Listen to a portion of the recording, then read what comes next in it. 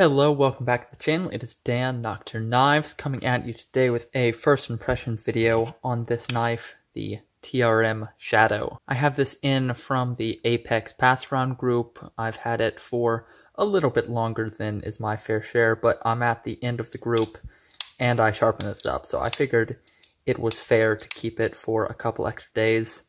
Been enjoying my time checking it out, getting to use it, and I have some thoughts to share with all you. So with that said, let's get into some measurements and comparisons. Looking at overall length, it's about 7 and 3 quarter inches. Blade length is coming in 3 and an eighth, something like that, and then cutting edge is about the same, 3 and an eighth or so. Handle thickness, looking at 0.49, pretty normal, pretty average. Blade stock thickness, looking at 0.08, very thin, definitely on the thin side. And behind the edge, looking at about 23 thousandths. There you go. Weight on this, if I remember, I'll put it up there somewhere. I think it's like three, probably three and a half ounces if I had to guess. Materials on this, we're looking at G10 handles, milled and contoured integral G10 backspacer. It's part of this show side scale. Titanium pocket clip. Hardware is stainless steel, I believe. And then on the blade, we're looking at 20 CV. And our lock type here, we have this axis style. I think they call it the river lock. Pretty much a sliding bar axis style lock. Now I'll roll through a couple size comparisons, starting off with the classic Spyderco Para 3 and PM2. Spyderco Swish Bowie, actually pretty comparable in overall size to this knife. Here's a more budget offering that some of you may have, QSP Penguin. Here's the Koenig Arius, a knife I have in from customer, the Vero Engineering Synapse XL. Arcane Design Abyss, pretty comparable in overall size. And a CRK Umnumzaan, again in from a customer. This one has a wicked mirror polish. It came out amazing. This one's pretty silly. And then here's a classic axis lock knife, this one in from Customer Sharpening, the Benchmade 940. You can see pretty close in overall length. So now let's get into the review. I'm going to talk about my likes, neutrals, and dislikes for this knife. So my likes, first up is going to be the ergonomics on this. I think this has really solid ergonomics, especially for my hand size. Back in this main grip, I have plenty of room for all my fingers.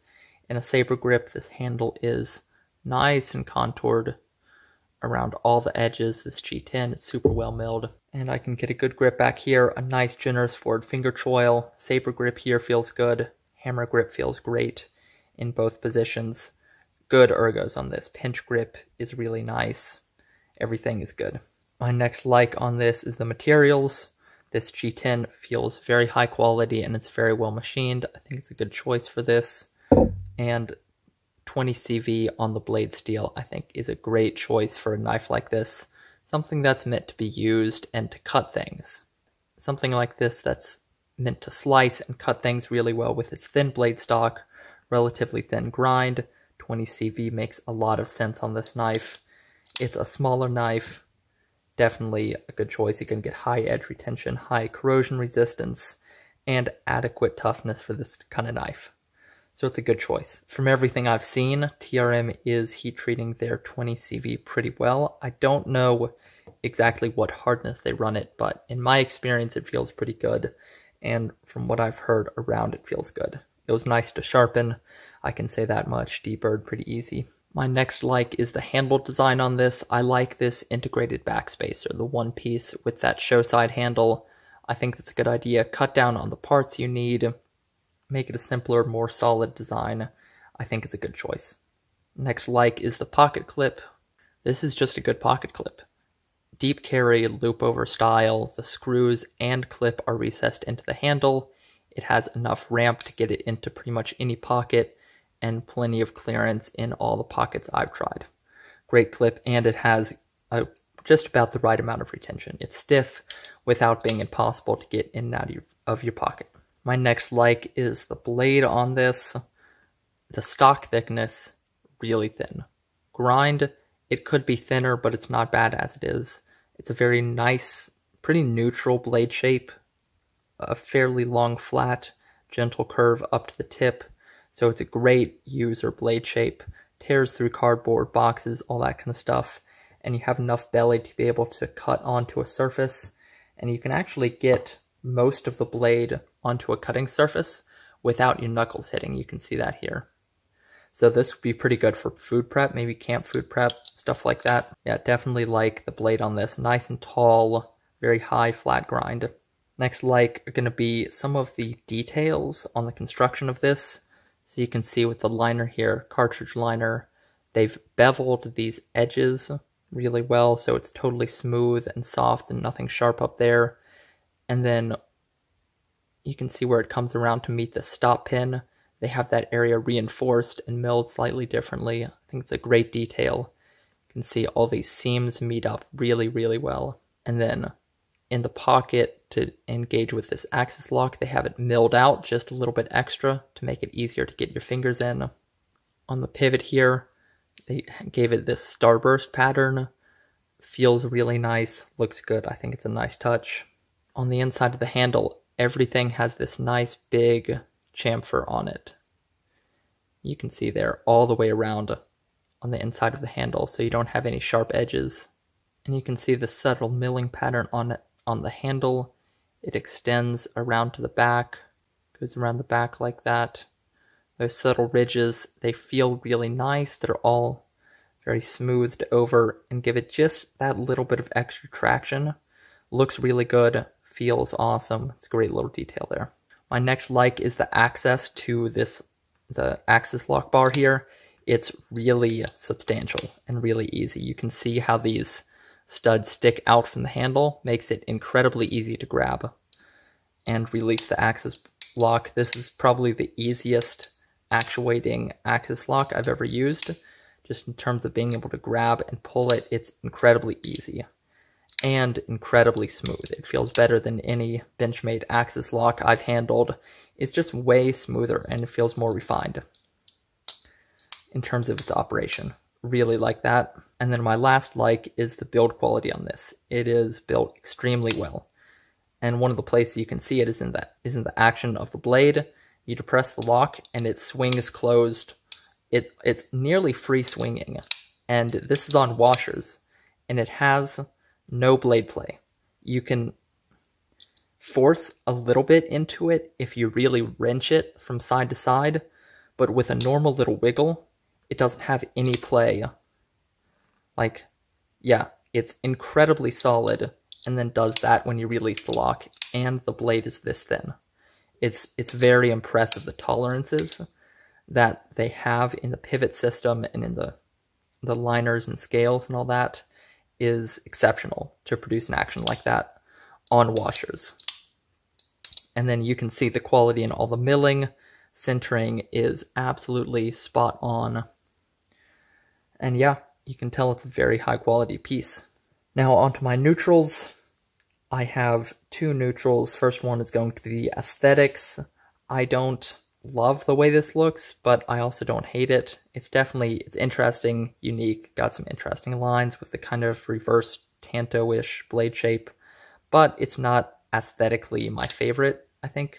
Other people might like it more than I do, and that's cool. Definitely going to be up to personal preference. It's not my favorite though, but I don't hate it. And then my second neutral is the blade. I think it could be ground a little bit thinner coming in a bit over 23 thousandths behind the edge. I wish it were coming in at like 12 or 15 thousandths behind the edge. I think that would make this an absolutely outstanding blade. But as it is, it's really not so bad, especially considering how thin the stock is. It still cuts really well, and some people are going to be more comfortable with that extra thickness behind the edge. I would prefer it to be thinner, but it's not a deal breaker for me with the blade stock being this thin. If the blade stock was thicker, then I would be unhappy about the, the thickness behind the edge.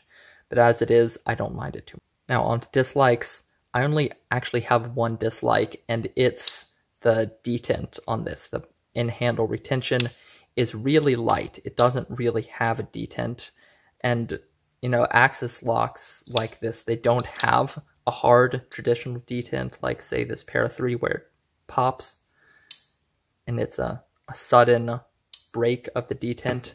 It's a softer break, you can see like that. But this one is especially light. It's much lighter than most axis locks I've handled, and I don't really love it. It's easy to do to do that, to flick it out halfway. It's pretty easy to do. Not my favorite. I wish it had a much harder detent, and I think that could be fixed with a little slightly different engineering in here. Make this hook, make this hook here, that's where it engages with the bar when it's closed around here. Make that hook sharper and maybe give it a slightly stronger spring. And you could have a stronger detent pretty easily, and this would be a lot more fun to play with and probably more secure in pocket, because as it is, it's pretty easy to to fling it open. Now, I really don't think this would be a problem in your pocket. I don't think it would be liable to open, but especially say if you had it in the wrong pocket, say you, you had it in your left hand pocket or your right hand back pocket, I think you could definitely open this because you grab that thumb stud and it opens up really easily. And if this was jangling around in the bag, I think it would be liable to open up halfway or maybe all the way.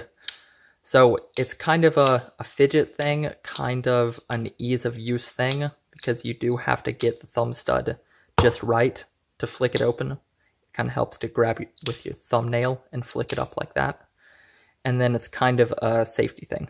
So that's really my only dislike on this knife, is I wish that the retention was harder, the detent was harder. And with all that out of the way, let's hop into some conclusions. So for the most part, I do really like this knife. It has great ergonomics. It's a really nice cutting blade. Could be a little bit thinner ground, but I don't mind it too much. It's built exceptionally well with great materials, very high quality, and TRM as a company is really nice. They have great customer service. The people in charge over there, especially Marianne, who handles most of their customer service and a lot of their sales, is super nice. So they're just, they're nice people and they're producing a very high quality product and all made in the US. So always like to see that, like to support home, home country manufacturing, as I'm sure all of you do, whatever that country in particular may be. But I like to see it a very high quality US made knife with a good design and good customer service. The only thing that really bugs me about this knife is the soft detent I think that could and should be much harder. Maybe that's something we'll see in future versions. But that's really my only qualm about this knife, is that softer detent. And if it weren't for that, I would I would be considering this much more. And I still kind of am considering it. It's a really nice knife. Uh, if you have a TRM Shadow, you've been looking at getting one, you don't have one for whatever reason, go drop a comment down below. I would love to hear your thoughts about it. While you're down there, don't forget to hit that like button, subscribe button if you like knives, sharpening content, all that kind of stuff. And with all that said, thank you very much for watching. I hope you enjoyed the video, and I'll catch you on the next one.